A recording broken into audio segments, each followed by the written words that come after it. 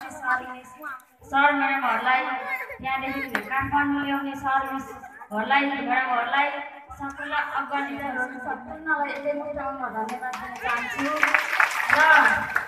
र टोसल ल्याउने सर डाँडा यहाँ टोसल ल्याउने सर उहाँहरूको समस्या परिवारले म आत्मदेखि सहयोग गर्न सक्छु र गएर भन्न गइरहेको छु र यहाँ ईश्वरका पवित्र सन्तानहरूलाई सम्पूर्णलाई म एकै मुठीमा धन्यवाद नमस्कार गर्न चाहन्छु। र म गएर भन्न छु मेरो पोहोर चैतमा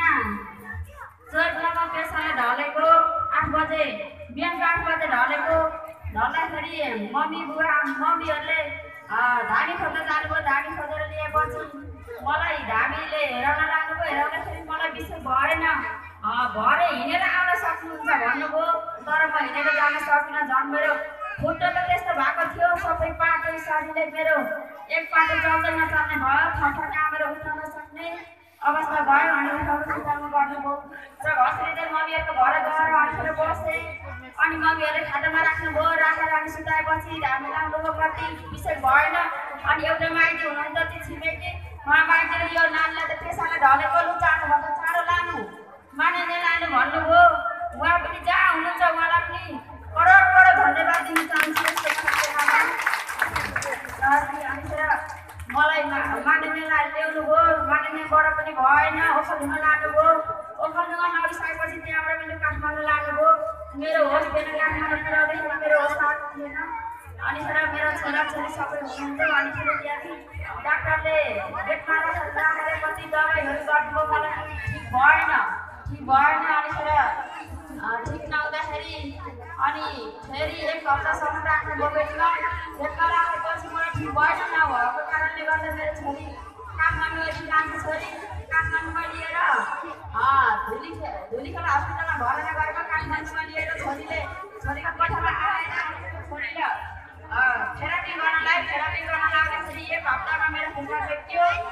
त्यत्रो बस्ने हस्पिटल मेरो खुट्टा टेकेन तर थेरापी गर्न टेक्यो अनि लकडाउन भइहाल्यो घर जाने भन्नुभयो अनि एक हप्ता थेरा थेरापी गर्न ठिक भयो तर खुट्टा टेक्यो तर मेरो हात खुट्टा त्यही खुट्टा मात्र टेकिने भयो मेरो हात साडी एक पाटो देब्रे हात चल्दै देब्रे पाटो चल्दै नचल्ने भयो तर नचल्दा पनि अनि त्यही खुट्टा मात्र थेरापी गर्दा खुट्टा मात्रै टेक्यो यो हात चल्दैन थियो मुठीको मुठी हुन्थ्यो तर हाम्रो लु लकडाउन भयो घर काम भन्न सधैँ अनि घर आयौँ घर आएपछि सधैँ सधैँ फुल्नु भएको छ सधैँ फुलेको छ।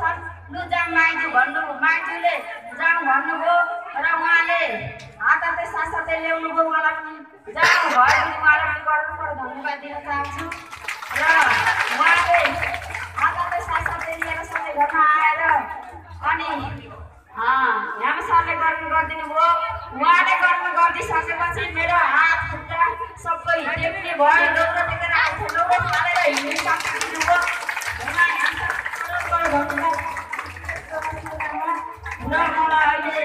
मेरो पाटोको त सायद र म छोटकरीमा भन्न चाहेँ धेरै दबाईले कति छ कति छोटकरीमा भन्न चाहेँ सबैले भन्नुपर्छ। र मेरो यतिखेरसम्म मलाई राम्रो लागि सबै सुविस्ता भन्छ हिँडेर मेरो हात खुट्टा बिस्तारै हिँड्न सक्ने पुगेर हिँड्न सक्ने लौरो फालेर सक्ने सक्ने दिदी गोविन्द कन्याश्वरलाई करोड करोड धन्यवाद दिन चाहन्छु र